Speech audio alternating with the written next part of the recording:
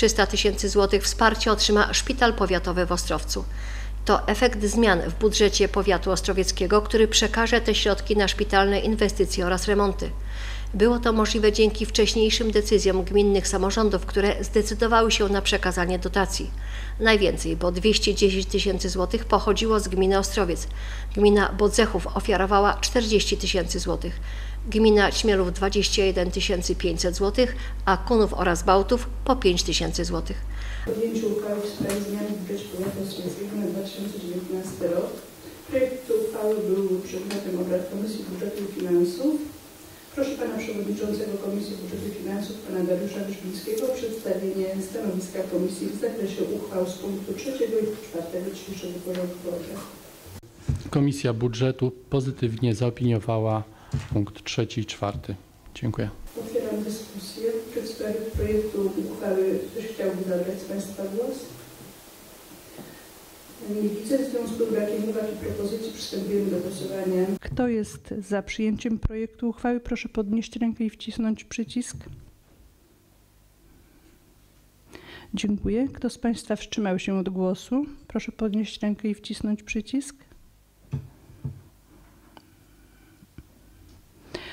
I kto z Państwa jest przeciw? Proszę wcisnąć rękę i przy, wcisnąć przycisk. Stwierdzam, że uchwała została przyjęta jednogłośnie.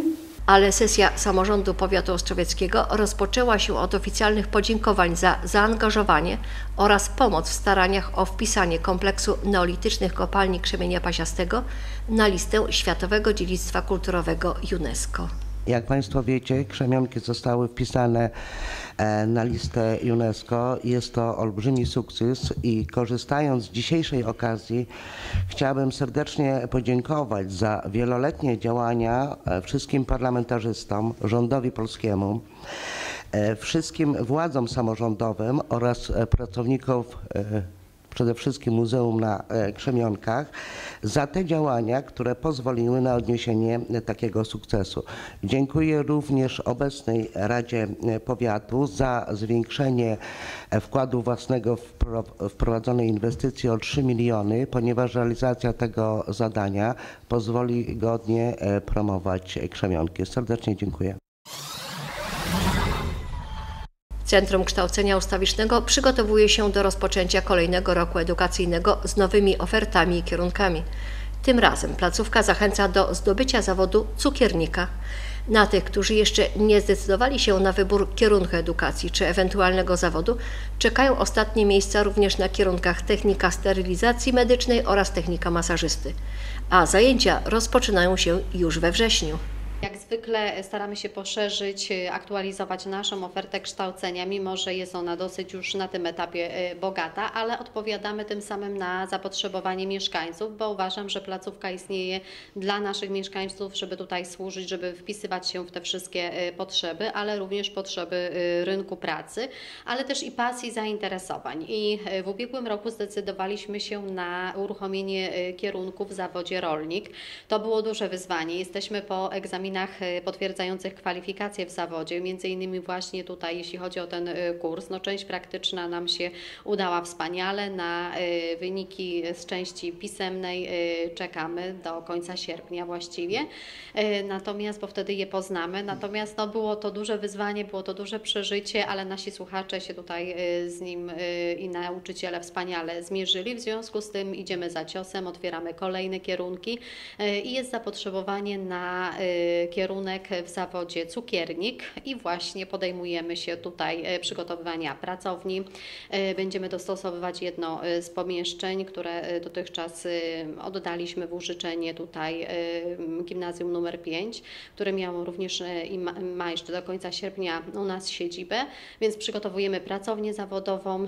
Już jesteśmy po wstępnych rozmowach z nauczycielami tego zawodu. Grupa już jest właściwie pełna, ale No, rekrutacja u nas jeszcze trwa. Oczywiście jest to rekrutacja już uzupełniająca, dlatego wszystkich zainteresowanych do kształcenia się w Centrum Kształcenia Ustawicznego i to zarówno w liceum ogólnokształcącym, w zależności od tego, czy po gimnazjum, czy po szkole podstawowej, zapraszam do cztero bądź trzyletniego y, liceum, do szkoły policealnej i tutaj zwłaszcza polecam takie kierunki jak e, technik sterylizacji medycznej, ponieważ no już lada moment, mam nadzieję, wychodzi rozporządzenie, które obliguje y, mm, tu osoby, które mm, w jakikolwiek sposób y, mają kontakt z ciałem człowieka poprzez narzędzia właśnie do tego, żeby e, zatrudniać e, fachowców, którzy są do tego, mają do tego uprawnienia, żeby poddawać te narzędzia właśnie sterylizacja. To jest tylko roczna szkoła, więc y, szybko, no i też tutaj y,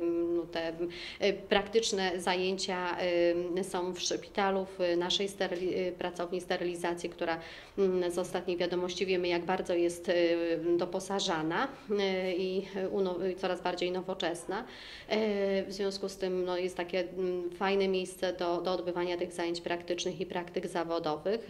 Też technika masażysty. Chciałabym tutaj szczególnie polecić tę profesję, ponieważ jest dosyć duże zainteresowanie masażami wśród naszych mieszkańców, jest duża potrzeba i kolejki do masażystów są dosyć spore. W związku z tym myślę, że pracy tutaj też nie brakuje, a kierunek y, do wykorzystania w różny y, sposób i naprawdę y, ciekawy zawód, tak uważam. No i oczywiście kwalifikacyjne kursy zawodowe, mm, które no też w różnych zawodach, i bo i fryzjer, i krawcowa, i i opiekun medyczny tradycyjnie, e, i kosmetyczka, e, i elektryk, e, i wiele, wiele jeszcze e, innych e, kierunków zawodów. Natomiast no, zależy nam na tym, żeby tę rekrutację uzupełniającą również jak najszybciej zakończyć. E, I, I w związku z tym zapraszam wszystkich zainteresowanych do e, tego, żeby się kształcić, e, wszystkie osoby dorosłe, niezależnie od tego, czy mają gdzieś zatrudnienie, czy też są osobami bezrobotnymi, właśnie do naszej placówki na ulicy y, I co, cóż mogę dodać, że naprawdę y, jest to nauka bezpłatna, to jest bardzo duży atut, ale y, profesjonalna kadra, która uważam bardzo dobrze przygotowuje do egzaminów zewnętrznych, no tutaj egzaminy zawodowe, y, zdawalność egzaminów zawodowych oscyluje wokół 100%.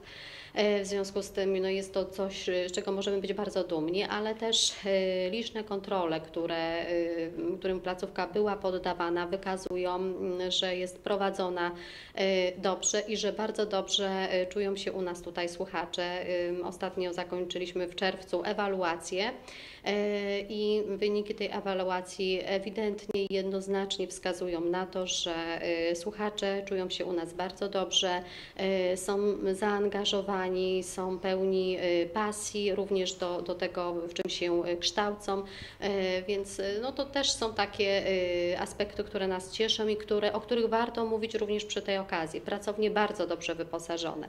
Również przyjeżdżają do nas egzaminatorzy przecież z całej Polski i mówią, że jest to jeden z wzorcowych ośrodków egzaminacyjnych właśnie y, w centrum, to Centrum Kształcenia Ustawicznego. I proszę Państwa, te liczne kontrole to również dlatego, że jesteśmy no, taką perełką tutaj w województwie świętokrzyskim. Jedyna placówka, która ma w swojej nazwie Centrum Kształcenia Ustawicznego tylko i która jest adresowana wyłącznie dla osób dorosłych i która podlega, y, prowadzi zarówno i szkoły, y, i liceum, i policealną, jak również kwalifikacyjne kursy zawodowe i podlega pod Ministerstwo Edukacji Narodowej, tylko żadne inne y, ministerstwo. W związku z tym naprawdę pod wieloma względami jesteśmy wyjątkowi, właśnie tymi też pozytywnymi. Decyzją Zarządu Polskiego Związku Piłki Nożnej były zawodnik oraz trener KSZO Ostrowiec Rafał Lasocki został selekcjonerem reprezentacji Polski do lat 15. Rafał Lasocki to wychowanek KSZO, z którym występował na boiskach ekstraklasy jako kapitan drużyny. Oprócz KSZO występował również w Lechu Poznań, z którym zdobył Puchar oraz Superpuchar Polski, a także w Dyskoboli Grodzisk Wielkopolski, Zawiszy Bydgoszcz, Wiśle Płocku i Śląsku Wrocław. W sumie w najwyższej klasie rozgrywek rozegrał 117 meczy, w których zdobył 9 bramek. Rafał Lasocki ma również za sobą bardzo udany, choć krótki epizod gry w reprezentacji Polski. Zaliczył trzy występy, a w swoim debiucie 14 lutego 2003 roku strzelił gola w wygranym 3 do 0 spotkaniu z Macedonią. Ponadto zagrał w meczach z Belgią w Brukseli oraz z USA w Chicago. Po zakończeniu piłkarskiej kariery powrócił do Ostrowca, gdzie podjął się zadania odbudowy drużyny KSZO, która była oparta na wychowankach klubu. Przeszedł z nimi drogę od A-klasy do trzeciej ligi. Zajął się również szkoleniem młodzieży w Szkole Mistrzostwa Sportowego. Rafał Lasocki ukończył kursy UEFA A oraz UEFA Pro w Szkole Trenerów PZPN-u. Od 2016 roku jest trenerem monitorującym inicjatywy Grassroots, m.in. w Akademii Młodych Orłów.